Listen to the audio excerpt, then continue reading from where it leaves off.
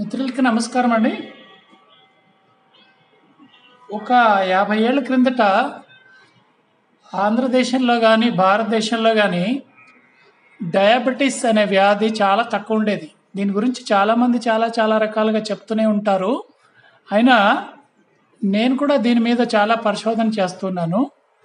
ఈ డయాబెటీస్ ఎందుకు నలభై యాభై ఏళ్ళ క్రిందట ఎందుకు లేదు?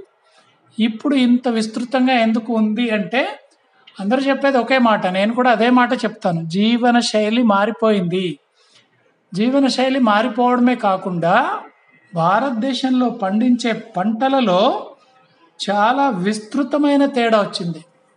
ఎంత తేడా అంటే ఇప్పుడు మనం తింటున్న రైసు తొంభై రోజుల పంట. తొంభై నుంచి నూట పది రోజుల లోపల పంట తయారవుతుంది ఎరువులు పురుగు మందులు వీటితో తయారైనది. కానీ నలభై ఏళ్ళ నలభై ఐదు నుంచి యాభై ఏళ్ళకు ముందు అంతకు మరీ ముందుగా మన రాష్ట్రంలో విస్తృతంగా పండుతున్న రైస్ ఏమిటంటే అంటే అప్పుడు ఇన్ని ఎకరాల సాగు లేదు ఇంత విస్తృతంగా వరి పండించే వాళ్ళు కాదు.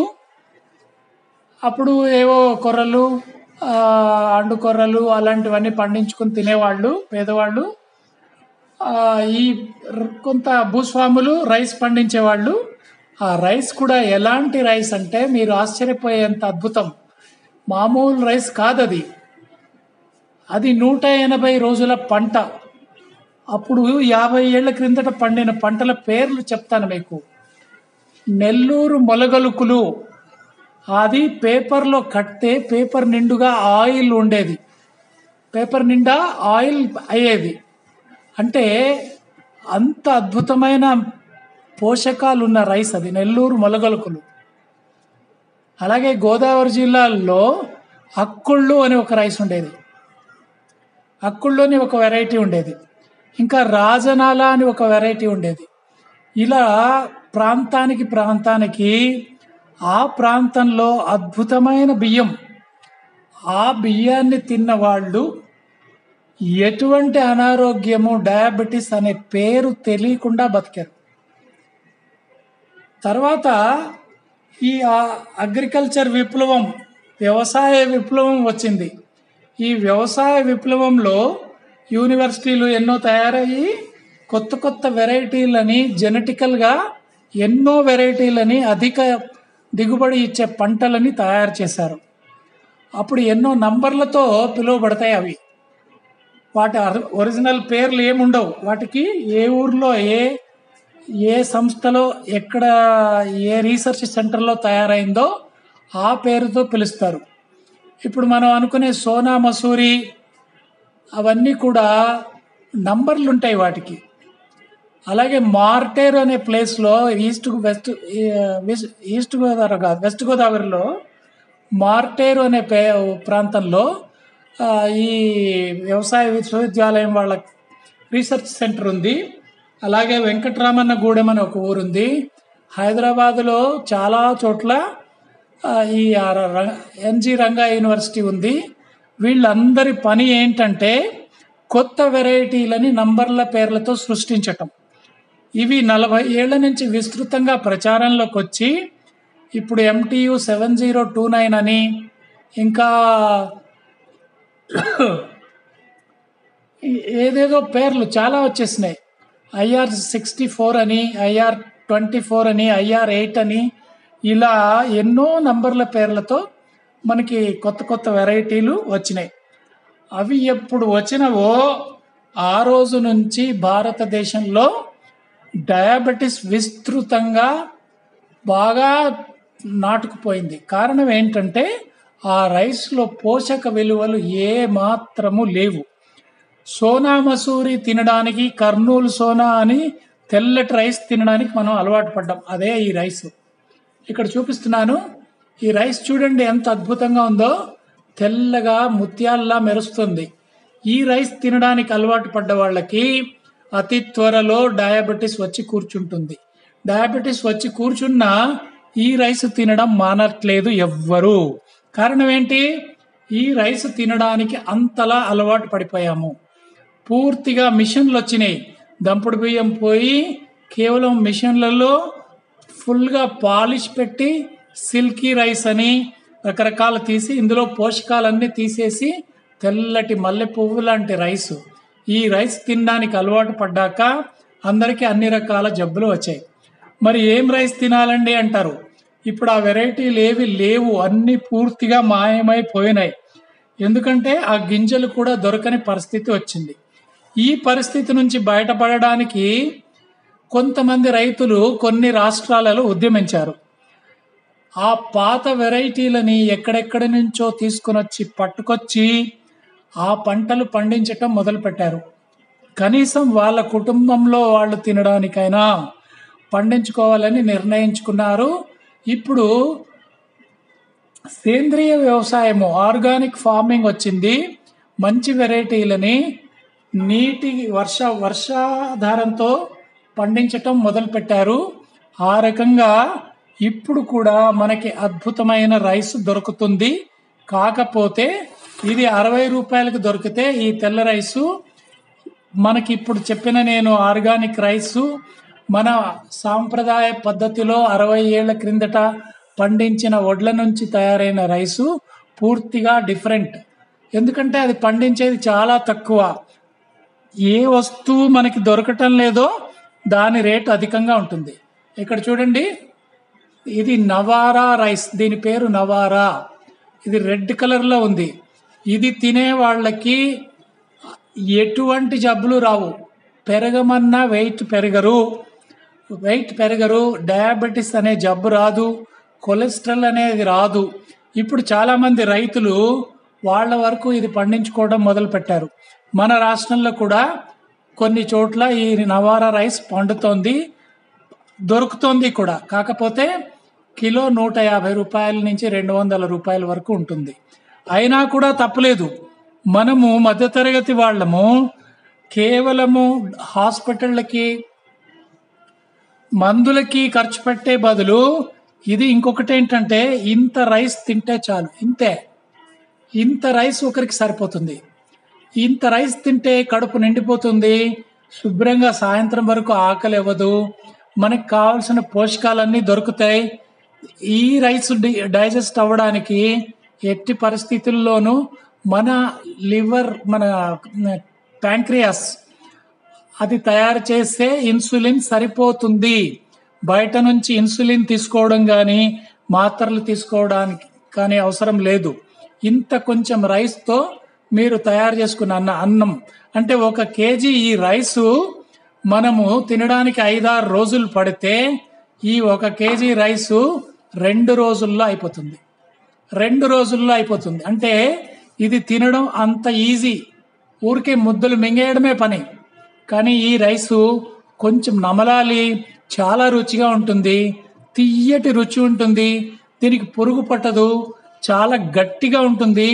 ఉడకడం కూడా ఏం కష్టపడవలసిన పని లేదు. ఒకటికి నాలుగు రెట్లు. ఈ ఒక కప్పుతో ఈ రైస్ తీసుకున్నామనుకోండి ఇలాగా ఒక కప్పు రైస్ తీసుకున్నాం అనుకున్నాం అనుకోండి దీనికి నాలుగు కప్పుల రైస్. ఇదిగోండి నాలుగు కప్పుల రైస్ పోసి నీళ్ళు నీళ్ళు పోసి నీళ్ళు పోసి ఒక కప్పు రైస్కి నాలుగు కప్పుల నీళ్ళు పోసి బాగా శుభ్రం చేసి కడిగి ఇలా ఒక కుండలో పెట్టాను. నేను వీలైనప్పుడల్లా ఇదే తింటాను.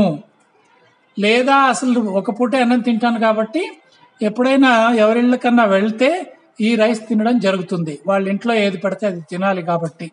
సో మనము ఈ అద్భుతమైన రైస్ నవారా రైస్ ఇది కేరళలో ఇప్పుడు పండించటం మొదలు పెట్టారు కానీ అక్కడి నుంచి ఇక్కడికి వచ్చేటప్పటికి మనకు నూట యాభై రూపాయలు ఖర్చు అవుతున్నది అలా కాకుండా మనం ఇక్కడ పండించటం మొదలు పెడితే ఇటువంటి రైస్ తింటే మన దేశం నుంచి పూర్తిగా రైస్ ఏమాత్రము తప్పు కాదండి. రైస్ తినకూడదు తినకూడదు అని చెప్పడం తప్పు.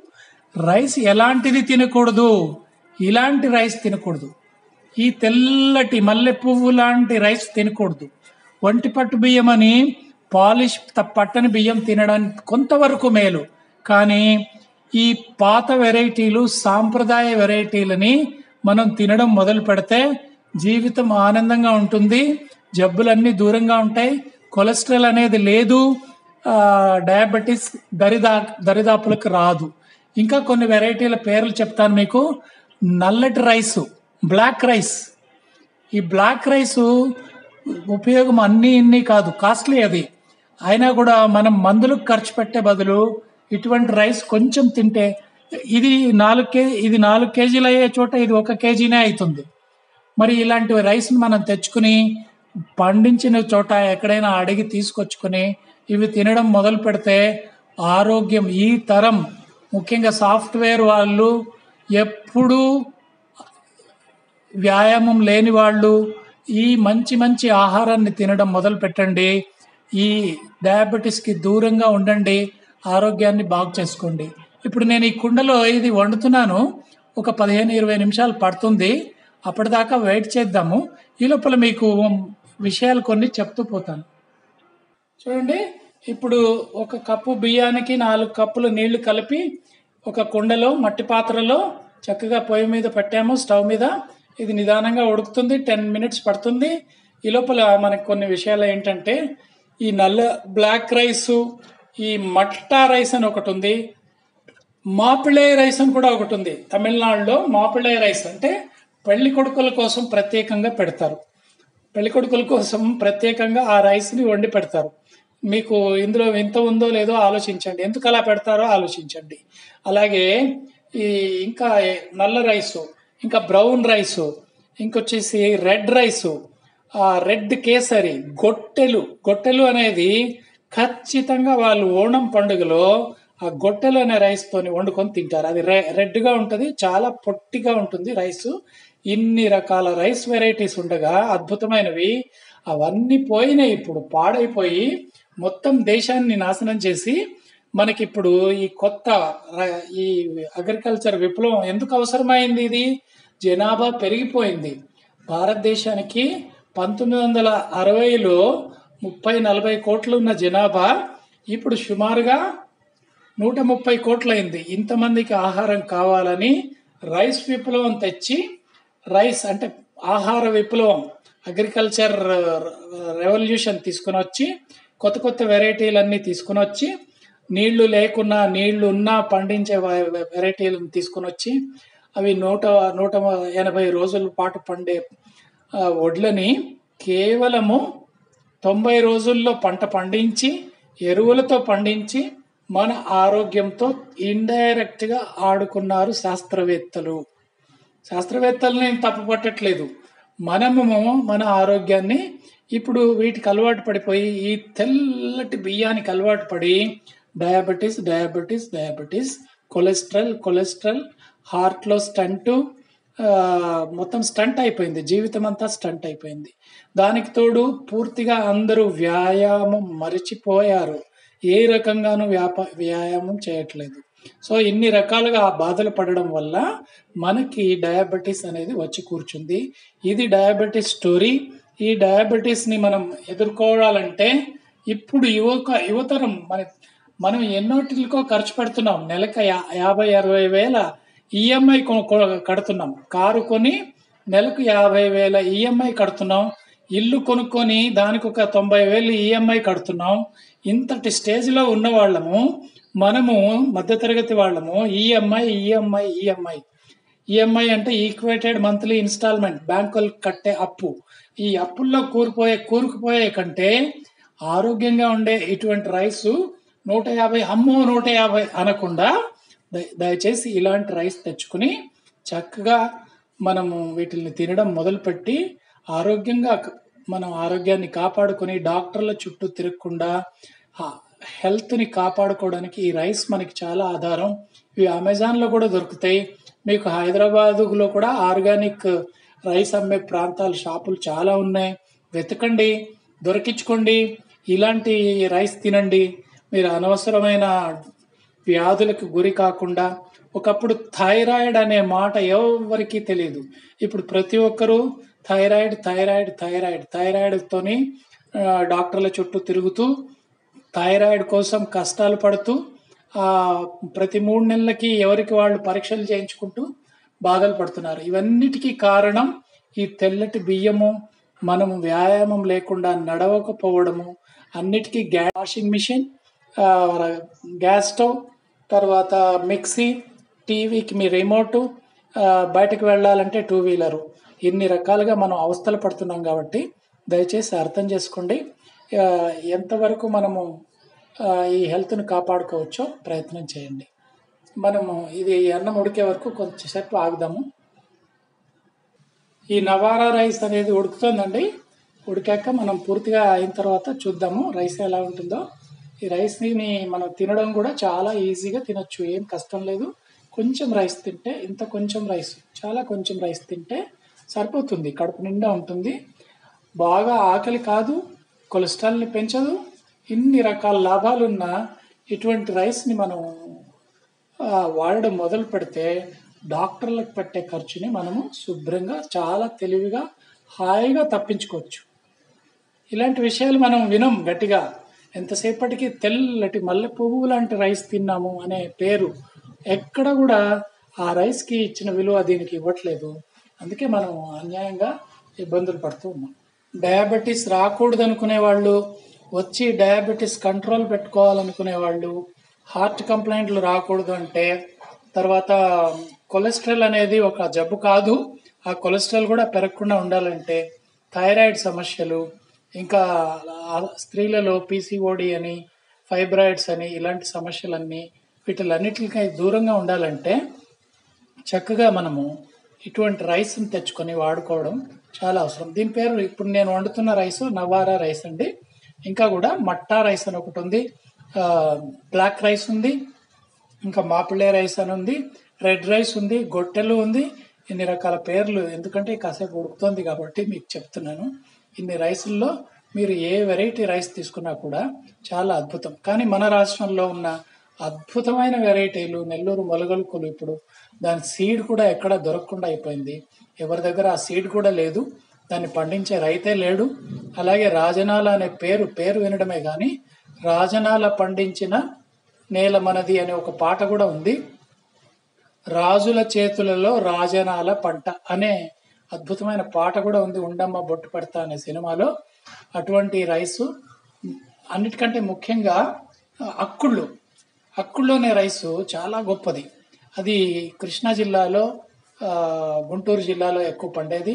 అవన్నీ మాయమైపోయి ఇప్పుడు ఈ తెల్లటి గవర్నమెంట్ నంబర్లతో పిలువబడే రైస్ను మనం వాడుతూ ఆరోగ్యాన్ని పాడు చేసుకుంటున్నాము.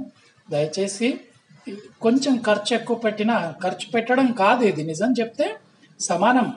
ఇది తినే అన్నం తక్కువ అది తినే అన్నం ఎక్కువ. అది ఒక కేజీ రైస్ రెండు మూడు రోజుల్లో అయిపోతుంది. ఈ ఒక కేజీ రైస్ ఎనిమిది రోజులు వస్తుంది. ఎంత తేడా ఉందో మీరు గమనించండి. కాబట్టి ఇలాంటి రైస్ తెచ్చుకోవడానికి ట్రై చేయండి. నాకు సుమారుగా డెబ్బై ఏళ్ళ వయసు అండి నేను డయాబెటిక్ కాదు. కాకపోతే మీకోసం చాలా రీసెర్చ్ చేస్తూనే ఉంటాను. ఏ విధంగా డయాబెటీస్ని కంట్రోల్ చేసుకోవచ్చు? అని ఎంతో మందికి చెప్పి ఎన్ని రకాలుగానో సలహా చెప్పి ఏ జీవన శైలితో పాటిస్తే షుగర్ కంట్రోల్లో ఉంటుంది మాత్రలు వాడకుండా అనేది బాగా పరిశోధన చేసి మరి మరీ నిర్ణయించుకున్నది ఏంటంటే ఇలాంటి రైస్ తినటం రోజుకి తొంభై నిమిషాలు వాకింగ్ చేయడం మన జీవితాన్ని సక్రమమైన దారిలో పెడుతుంది. మీ పిల్లల్ని పొద్దున పది గంటలకు నిద్ర లేపడం మానండి. శనివారం ఆదివారం టెన్ ఓ క్లాక్కి నిద్ర లేపుతున్నారని నాకు బాగా తెలుసు. చాలా మంది నాతో మాట్లాడే వాళ్ళని ముందు ప్రశ్న ఫస్ట్ ప్రశ్న ఒకటి అడుగుతాను. మీరు ఎన్ని గంటలకు నిద్రలేస్తున్నారు అని. కాబట్టి లేట్గా పడుకోవడం తెల్లవారు చాలా లేటుగా లేవడం ఏమాత్రం వ్యాయామం లేకపోవడం ఇవి మన అనారోగ్యానికి కారణాలు.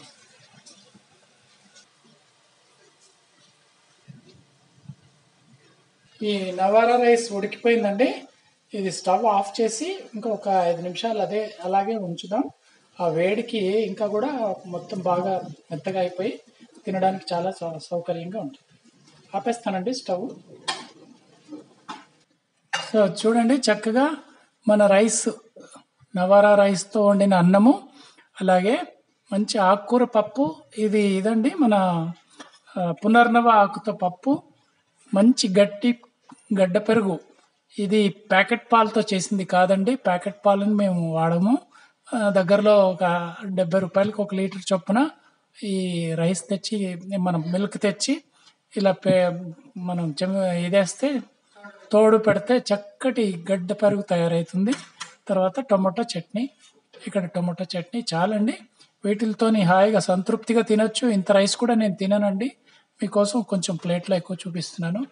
ఇలాగా మనం ఆహారం తినడం మొదలు పెడితే డెబ్బై ఏళ్ళు కాదు ఎనభై ఏళ్ళు వచ్చినా ఆరోగ్యంగా ఉండొచ్చు. ఇది నా అనుభవం.